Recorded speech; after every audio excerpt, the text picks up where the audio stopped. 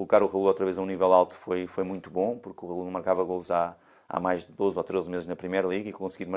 fazer com que ele marcasse golos e depois, quando teve a lesão o, o Raul, realmente o Rodrigo apareceu num, num, momento de forma impressionante, tem, tem vindo a marcar golos, mas não só os golos. A forma como tem vindo a jogar tem sido, tem sido muito boa para nós, para ele também tem evoluído e, e eu sinto que há muito mais para evoluir nele. É bom quando tens um jovem com 22 anos a quem dás a oportunidade e ele consegue jogar da forma como tem jogado, mas acima de tudo perceberes que há tanta coisa ainda para melhorar e claramente colocá-lo ainda a um nível mais alto. The Zone, a nova casa da Eleven.